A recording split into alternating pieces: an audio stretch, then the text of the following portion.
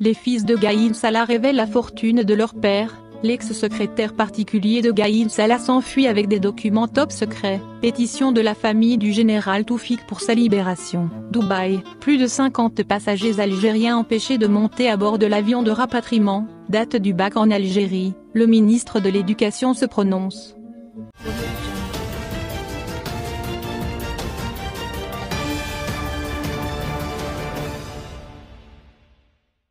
Les fils de Gaïn Salah révèlent la fortune de leur père en jouant au mécène.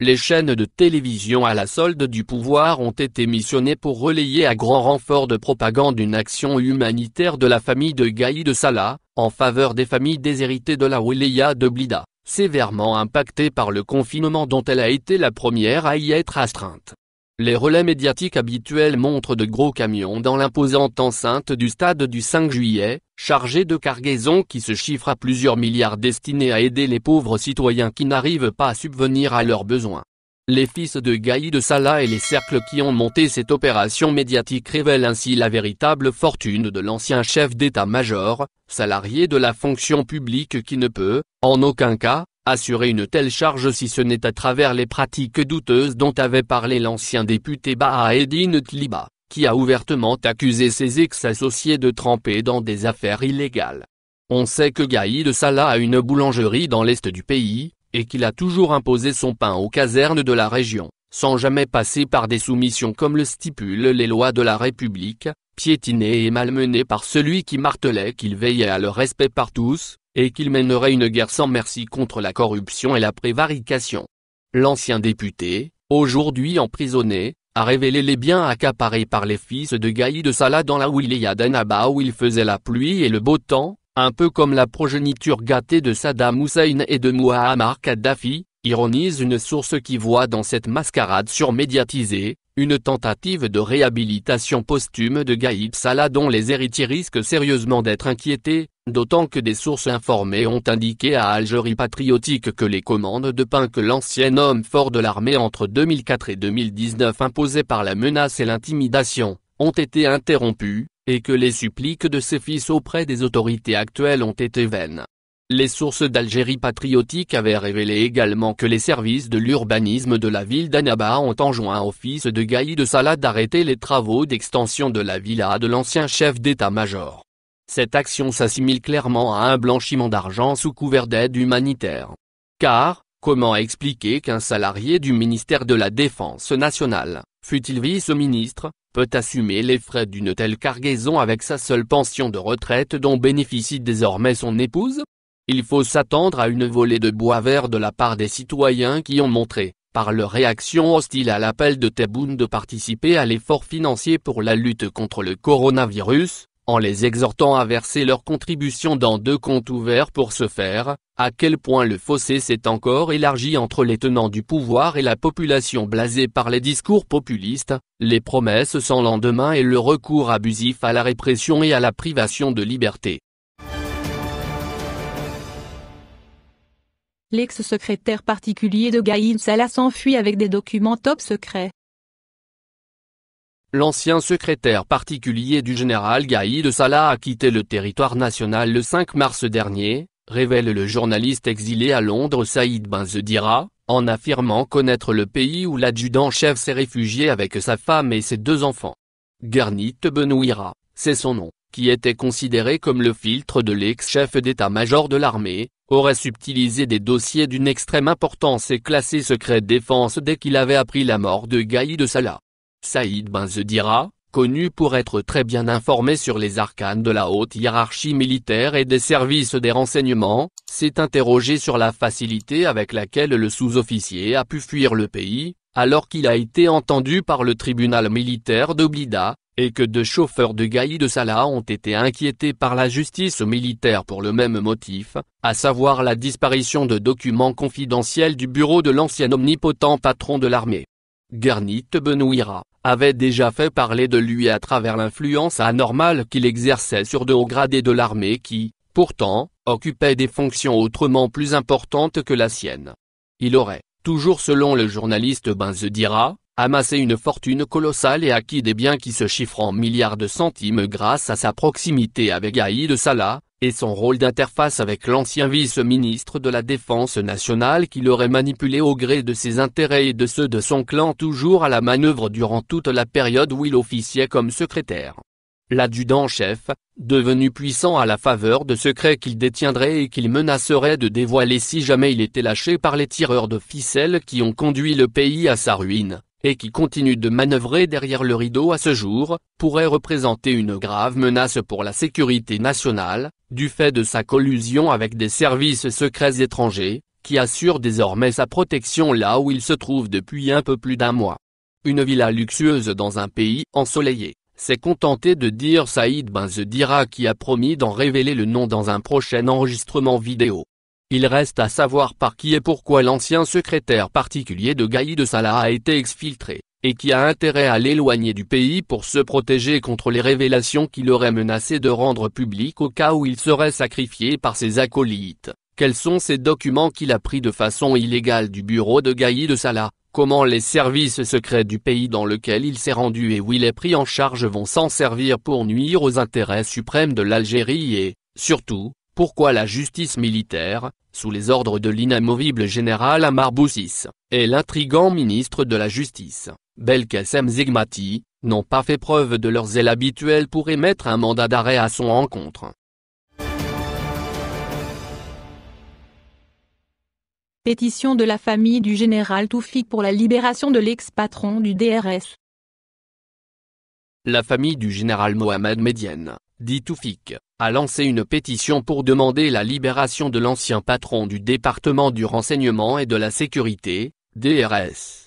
Nous demandons la libération du détenu politique et d'opinion le général de corps d'armée à la retraite, et ancien Moudjahid Mohamed Medienne, connu sous le nom de général Toufik, âgé de 79 ans, qui a été injustement condamné à 15 ans de prison par la justice militaire, pour avoir répondu à une invitation afin de donner son avis sur la situation de crise politique que traversait le pays, lit-on dans le texte mis en ligne ce jeudi. Le général Toufik a servi pour la défense et la sécurité de l'Algérie pendant 57 ans au sein de la et la NEP, dont 25 ans comme chef des services de renseignement sous l'autorité de cinq présidents de la République, rappelle sa famille. Le général Toufik a été condamné dans une affaire montée de toutes pièces par l'ancien chef d'état-major de l'armée, qui cherchait à se venger de celui qu'il considérait comme son rival au sein du pouvoir. Gaïd Salah avait l'ancien patron du DRS dans son viseur depuis la maladie de Bouteflika en 2013. Il lui tient rigueur pour avoir demandé à l'ex-président impotent de quitter le pouvoir et de ne pas briguer un quatrième mandat. Mais Gaïd Salah ne l'entendait pas de cette oreille, considérant, à juste titre, que la fin de Bouteflika signifierait la sienne. Dès sa désignation au poste de vice-ministre de la Défense nationale, Gaïd Salah a fait du général Toufik sa cible principale. C'est Gaïd Salah qui avait actionné l'ancien secrétaire général du FLN, Amar Saïdani, et l'ancien député Bahaeddin Tliba pour mener une campagne enragée contre celui qui était affublé du titre excessif de Rab dieu de l'Algérie. Légaliste jusqu'au bout, le général Toufik a toujours refusé d'entrer dans le jeu de Gaïd Salah, ni de répondre à ses provocations et à ses manœuvres dont il avait, on le constate avec le recul, sous-estimé le préjudice non seulement sur sa propre personne mais sur le pays tout entier. Les premiers signes de l'animosité viscérale et vengeresse de l'ancien vice-ministre de la Défense étaient perceptibles dès sa prise de fonction au travers de décisions puériles, à la hauteur de son niveau intellectuel bas, telle que la perfide fermeture d'une salle de sport dans laquelle l'ancien patron du DRS avait pour habitude de faire de l'exercice physique, ou encore l'interdiction aux éléments de l'ex-DRS d'accéder au siège du ministère de la Défense nationale par l'entrée principale. Quand la lutte des clans s'est exacerbée au sommet de l'État, à l'approche de la fin problématique du quatrième mandat de Bouteflika, le frère du président sortant s'était tourné vers l'expérimenté général Toufik, dans le cadre de consultations élargies à de nombreuses personnalités civiles et militaires, pour essayer de trouver une issue à la crise. Une démarche dans laquelle Gaïd Salah entrevoyait sa fin au cas où le clan adverse contrarierait ses plans qui visaient à maintenir Bouteflika au pouvoir, même sous la forme d'un cadre qui finira par mettre le feu aux poudres. L'acharnement de Gaïd Salah contre ses anciens chefs et ses anciens collègues au sein de l'armée revêtait un caractère personnel, faisant que l'argument du complot contre l'État est un abus de pouvoir flagrant rendu possible, grâce à la soumission d'une justice militaire aux ordres. De nombreux officiers de haut rang ont été arbitrairement condamnés et emprisonnés sur injonction directe de l'ancien chef d'état-major. La mort de ce dernier, son remplacement par le saint syrien Saïd Changria et l'avènement d'Abdelmajid Tebboune au pouvoir n'ont pas permis de réparer cette grave injustice. Dubaï. Diagnostiqué positif au coronavirus, plus de 50 passagers algériens empêchés de monter à bord de l'avion de rapatriement. Ce samedi 11 avril, à l'aéroport international de Dubaï, plus de 50 passagers algériens n'ont pas été autorisés par les services sanitaires émiratis de monter à bord de l'avion de rapatriement qui devait transférer les voyageurs ou touristes algériens bloqués depuis presque 20 jours à Dubaï vers Alger, a-t-on appris de plusieurs sources concordantes. Ces voyageurs algériens ont été diagnostiqués positifs au coronavirus Covid-19 par les autorités sanitaires de la ville de Dubaï qui a mobilisé des équipes médicales, afin de procéder au dépistage et contrôles médicaux de tous les voyageurs qui doivent être rapatriés vers l'Algérie. Les passagers algériens testés positifs au coronavirus, Covid-19 ont été récupérés par les autorités émiraties qui se sont engagées à les prendre en charge. Selon Algérie Par, des soins leur seront dispensés dans des établissements et structures sanitaires mis en place à Dubaï. L'Algérie ne devra pas dépenser un seul centime pour la prise en charge médicale de ses ressortissants. En revanche, ce sont les autorités algériennes qui avaient financé la prise en charge des touristes algériens bloqués à Dubaï, lors de la fermeture des frontières et liaisons aériennes entre l'Algérie et le reste du monde à partir du 17 mars dernier. Près de 500 ressortissants algériens ont été placés dans un lieu de confinement à Sharika, l'un des sept émirats composant l'Émirat arabes unis, situé à proximité de Dubaï. Rappelons enfin que trois vols de rapatriement ont été mis en place entre Alger et Dubaï ce samedi 11 avril. Deux vols ont été assurés par Air Algérie et un troisième vol a été mis en place par les Émirats. Date du bac. BEM, et 5e AP en Algérie, le ministre de l'Éducation se prononce.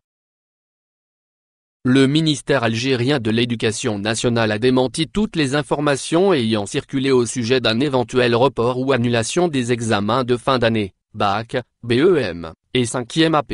Le ministère a nié toutes les informations portant sur la réorganisation de l'année scolaire, et le changement des calendriers des examens finaux, indique ce samedi 11 avril, un communiqué du département de Mohamed Ouadjaout. Le ministère de l'Éducation nationale dément formellement les informations erronées rapportées dans certains médias et sur les réseaux sociaux, et faisant état d'un réaménagement des années scolaires en cours et prochaines et du changement du calendrier des examens scolaires, lit-on dans le communiqué. Le département ministériel dirigé par Mohamed Ouadjaout appelle à éviter de relayer ce genre d'informations qui ne font que créer du trouble et du doute, en cette difficile période que traverse l'Algérie. Il rappelle les engagements du ministre qui a promis qu'aucune décision ne sera prise sans avoir consulté préalablement les partenaires sociaux, notamment les organisations et associations de parents d'élèves et les syndicats agréés. Par ailleurs, les services du ministère affirment suivre quotidiennement l'évolution de la situation et nous prendrons les décisions adéquates le moment opportun, en fonction de l'évolution de la situation et en prenant compte de l'intérêt de l'élève,